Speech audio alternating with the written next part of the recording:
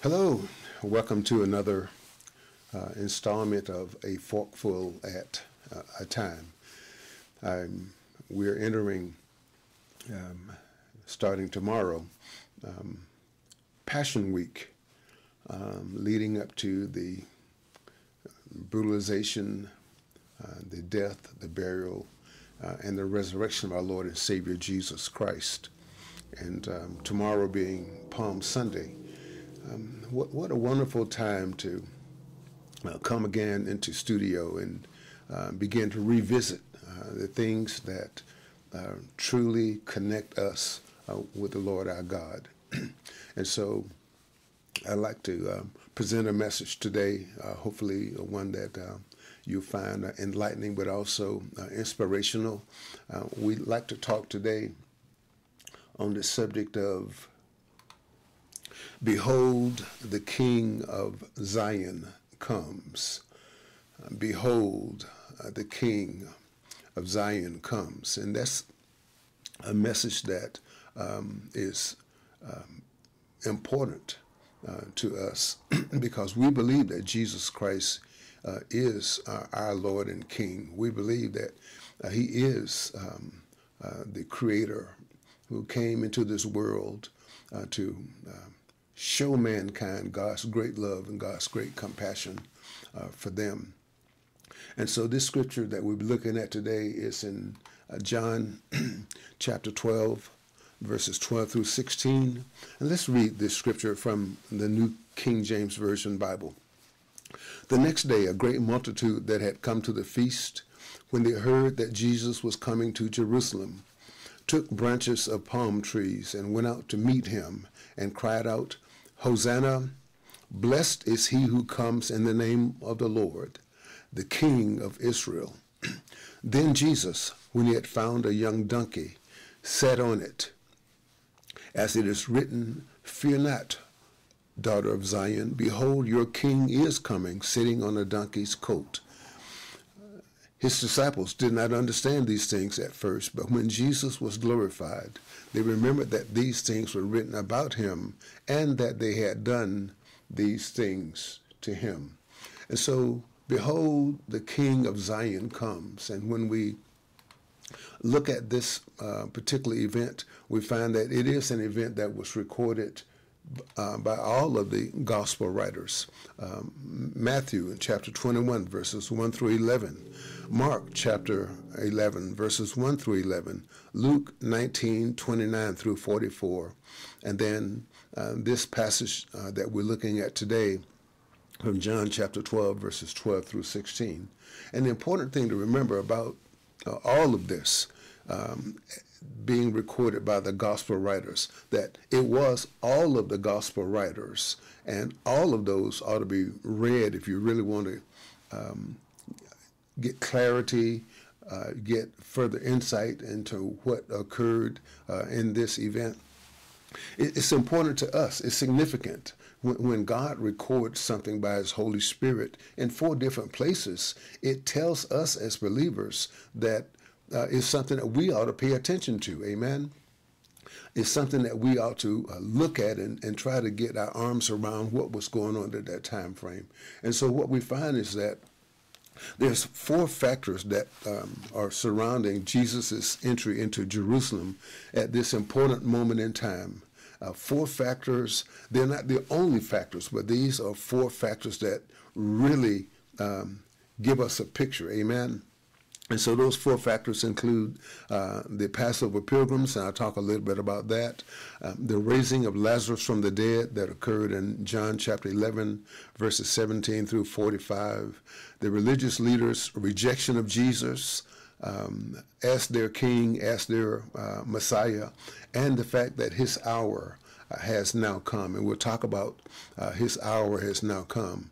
But the important thing about all of this, the thing that hangs over all of this, um, the thing that unifies and places some context, was that um, the Jews had an expectation of Messiah. They had an expectation of this person, this warrior, this king, this leader, this deliverer that was going to come and deliver Israel from uh, its oppressors. Amen.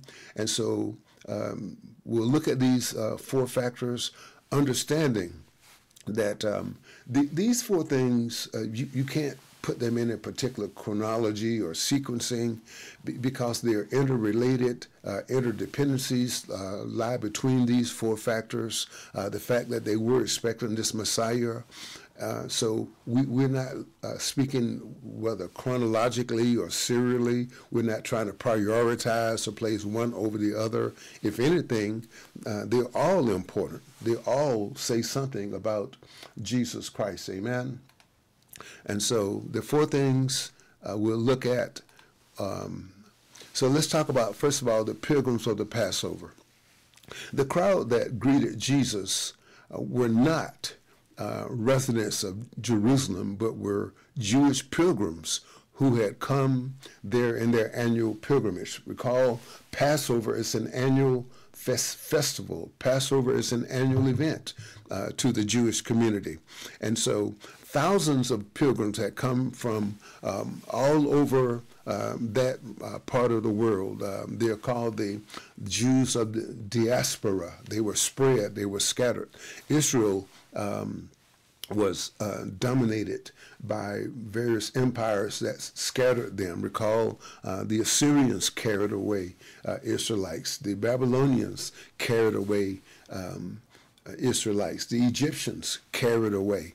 Um, and so um, these pilgrims, though, um, made a return annually. They, they found their way. They put it in their budgeting. They planned uh, to come back to this great festival, this great reminder of what God had done in, uh, recall, delivering Israel from uh, the hands of uh, the Egyptians. Uh, these Passover pilgrims were aware that um, Jesus Christ had raised Lazarus from the dead. Uh, that's recorded in John chapter 11. And, and so these pilgrims um, had come to believe that Jesus was to be the expected Messiah. And in fact, they hailed him as the King of Israel. They were uh, citing a passage found in uh, Zechariah chapter 9, verse 9. And so the pilgrims of the Passover were there. We have a crowd then that is filled with this um, expectation of, of, of, deliverance. They were always looking for the Lord to deliver Israel. Um, and the Passover event served to remind them that um, God had done this miraculous thing in their past, and they were still expecting, and they were looking for this Messiah to come and uh, deliver them from the hands of the oppressors. Amen. Look first at uh, secondly, at the raising of Lazarus from the dead, that's recorded in John chapter 11, verses 14 through 44. There, Jesus, the Son of God, he exercised an absolute, uh, irrepressible, and undeniable power over death. Um, when you read um, the, the John uh, chapter 11, there is no doubt in Jesus' mind that Lazarus was dead. And he told his followers that I'm going back to uh, Bethany. I'm going to visit uh, my friend, uh, his family, uh, because he's sleeping, but uh, he's going to be awakened. And they didn't understand that.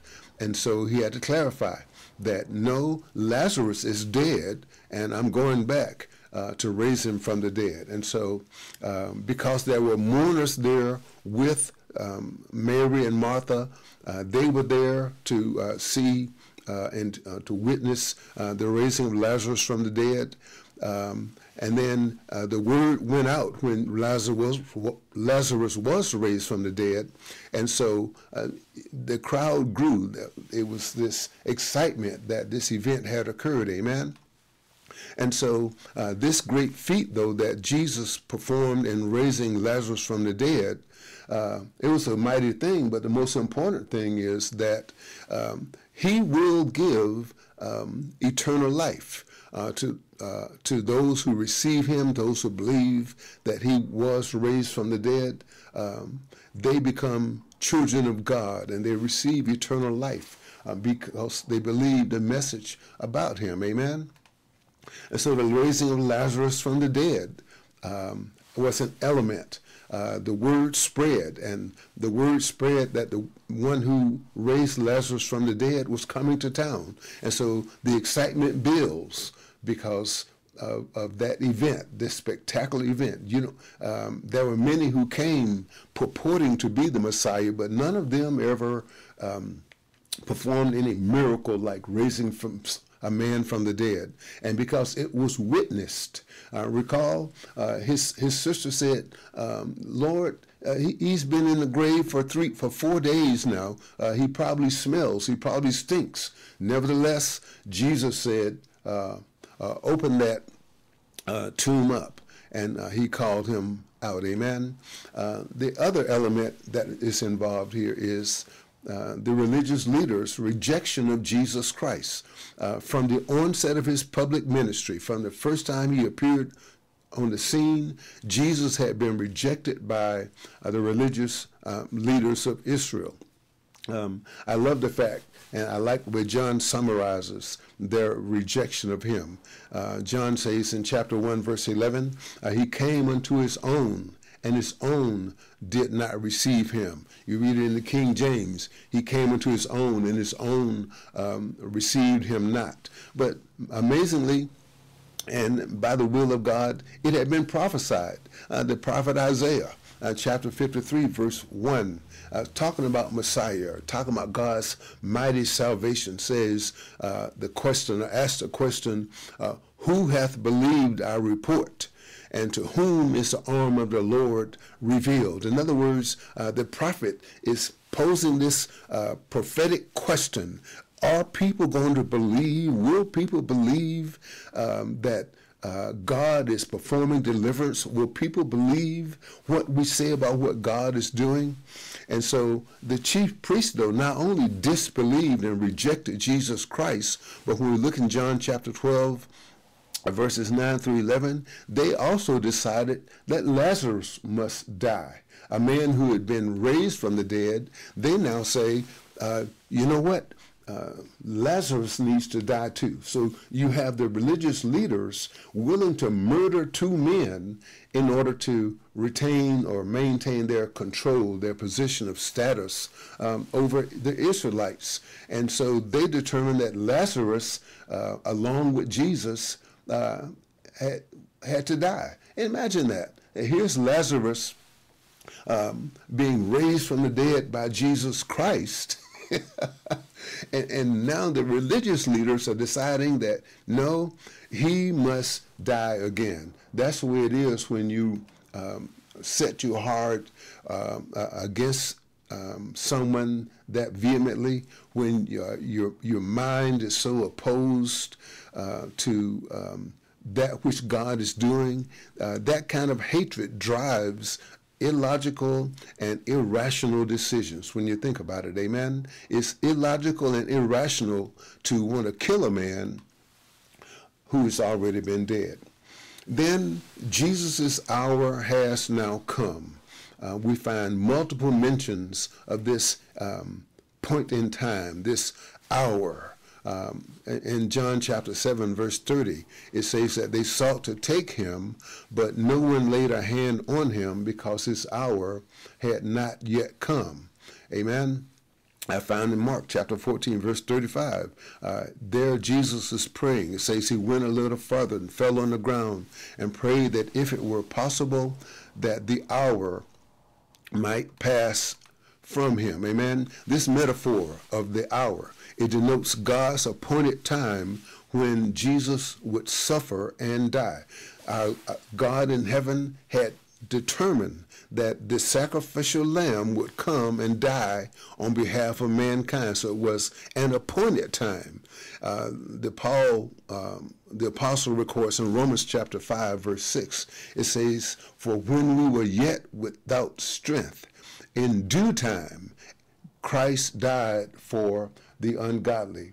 And so, what Paul is saying there is at the right moment in time, at the right moment in history, God's appointed one would come to die for the sins of the world. So this uh, Passion Week, this event of Jesus riding into Jerusalem, um, it, it is the, the trigger point, it's the uh, catalyst, it's the moment in time when um, God has decided now the sacrificial lamb must be uh, sacrificed. He must be killed uh, to atone for the sins of man. Amen.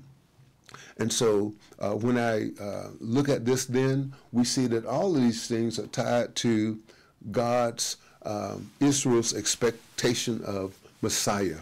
You see, Israel had groaned over its history under various oppressors while hungering nationally for the promised appearance of God's anointed one. Uh, in the Hebrew, the word is Masa. Uh, the uh, or Mesa, the the concept of Messiah, uh, it grew out of many prophetic declarations like Deuteronomy uh, 9 15, 1 Samuel chapter 2, verse 10, uh, Isaiah chapter 9, verses 6 through 7. Um, uh, Isaiah 11, uh, 1 through 16, chapter 40, um, verses 1 through 11, uh, Jeremiah, uh, on down the line, you find these mentions of this anointed one that God would uh, send. Amen. Israel had this expectation that came out of prophetic declarations that God was going to send uh, this son of David, uh, this one who was of the um, um, the race of David or the downstream of David or the progeny of David. God was going to send him. And the Passover season, as I said earlier, the Passover moment reminded them of a previous great deliverance that uh, God had um, delivered Israel with a mighty and outstretched hands from the hands of the Egyptians. Jesus' is raising Lazarus from the dead spoke of miraculous power. So here's what we've got now. You've got uh, the Passover moment occurring, the Passover uh, festival uh, in which Israel is looking for uh, this deliverance again, this um, uh, being set free from the oppressors again. You have Jesus' raising of Lazarus from the dead that spoke of God's miraculous power. You have Jesus now determining that I'm going to go into uh, Jerusalem. I'm going to go into town. Amen. And the people heard about that. The people knew he was coming, uh, knowing that religious leaders uh, sought to kill him. Amen. And so their minds immediately seized upon the concept, uh, the belief that this had to be uh, Messiah's triumphal entry uh, that is mentioned in the uh, book of Jeremiah, uh, I'm sorry, Zechariah. This had to be his triumphal entry.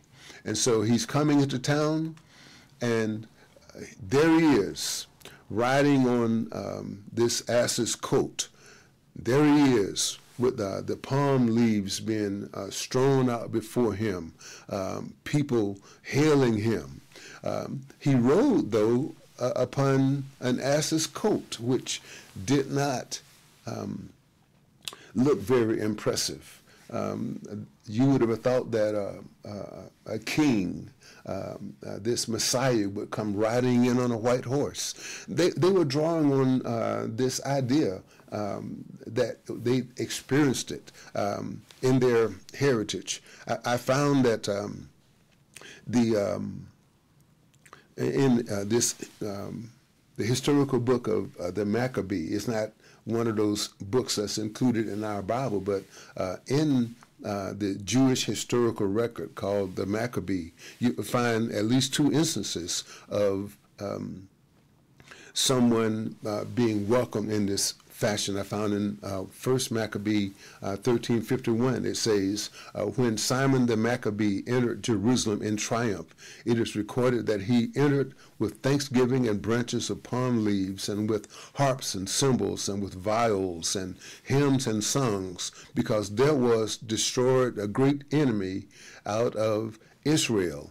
That was one occasion when uh, the the uh, Maccabee had uh, destroyed, uh, I believe it was some some Grecians or some Herodians, and then we found um, in Second Maccabee chapter 10, verse 7. It says, When his brother Judas the Maccabee defeated the Syrians, it is said the people carried branches and fair boughs, boughs of trees, uh, palms also, and sang psalms. Amen.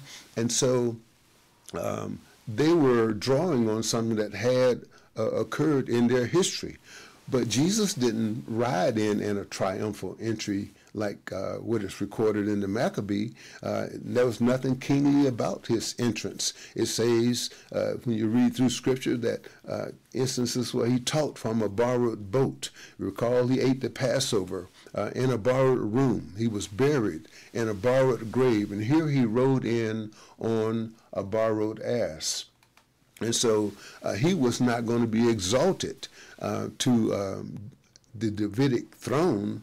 He was not going to be placed on the throne of David, but he would be lifted up on Calvary's cross. And even his closest followers uh, misunderstood uh, this entry into Jerusalem. They didn't understand that he was going to die for the sins of the world. They just hadn't gotten it.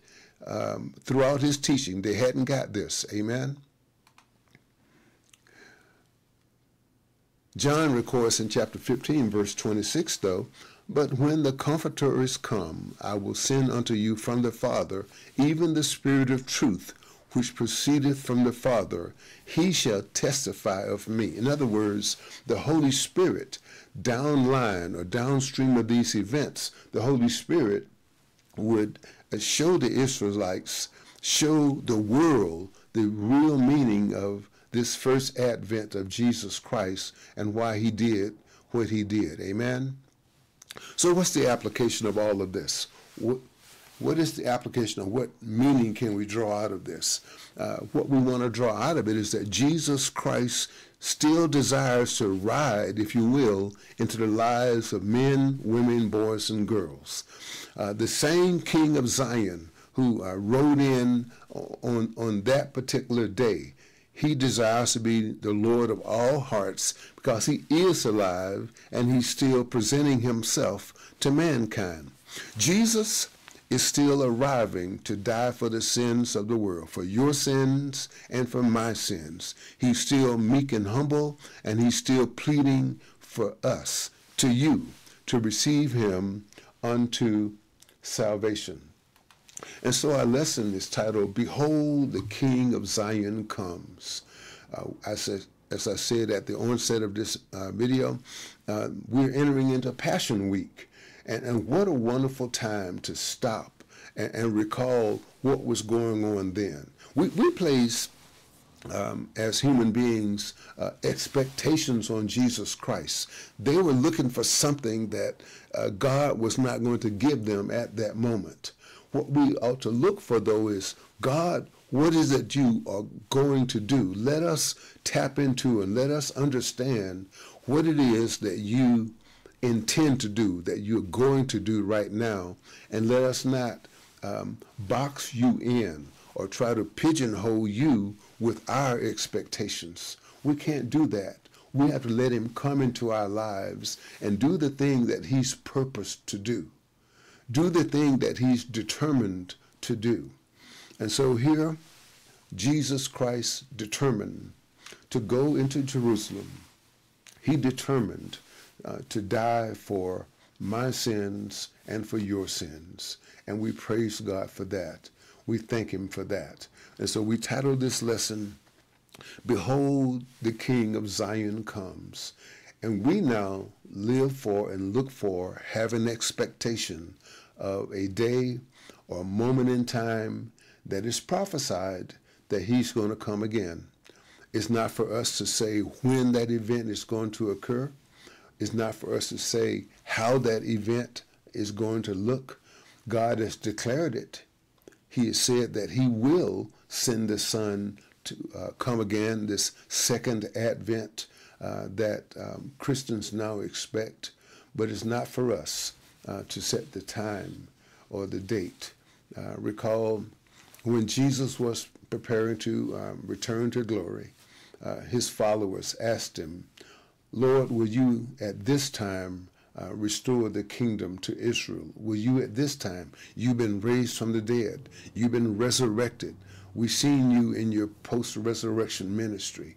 Will you now restore uh, Israel uh, to its position of power and influence? And his answer was, it's not for you to know uh, the things that the Father has determined. And so it's not for us to know. It's for us to serve him, be loyal to him, be faithful to him until he comes again. And should we close our eyes in death before he comes again, we will die in hope and expectation of seeing him in eternal glory. Amen. So we thank God for you. We thank God for this opportunity to once again uh, come into uh, the studio. We pray that God bless you. May the Lord's face ever continue to shine upon you. In the name of Jesus Christ, our Lord. Until we meet again, Mike out.